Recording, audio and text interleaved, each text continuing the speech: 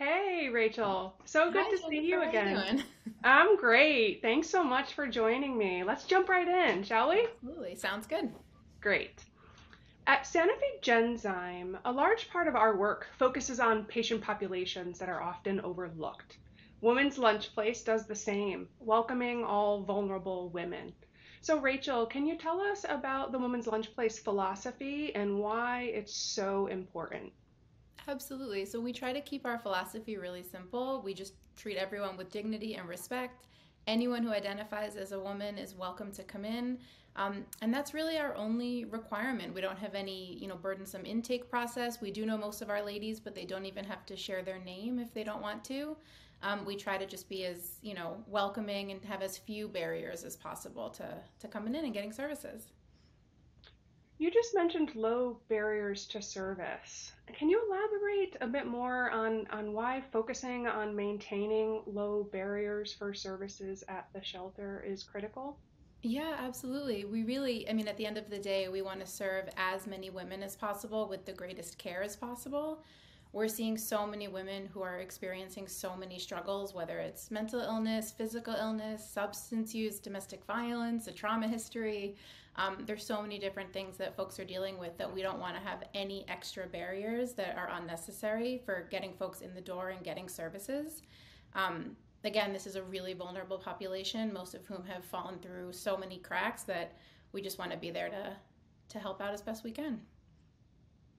And you and your team definitely play a pivotal role in that. So tell me a bit more about how Direct Care's work supports healthy meals and advocacy and all of the other programs at Women's Lunch Place. And maybe if you can squeeze it in, what's your larger role within the shelter?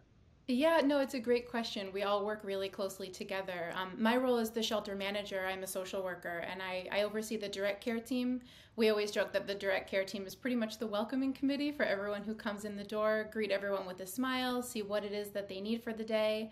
Um, for some folks, that's really just a cup of coffee, maybe a hot shower.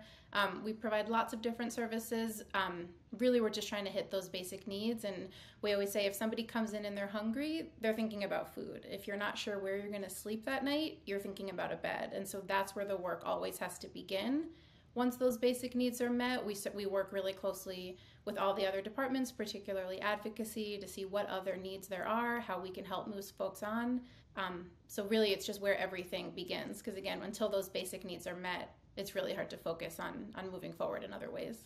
And with COVID and the ever changing environment, are you seeing anything right now that might affect your work in the next year? And, and if so, how is your team preparing?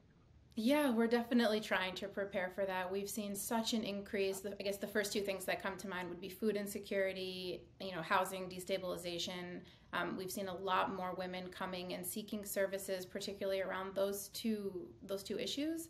Um, we've started a triage process now where the direct care team does more, you know, asking questions. Oh, what brings you in today? Still not, you know, that traditional intake model, but really trying to guide folks in the right direction.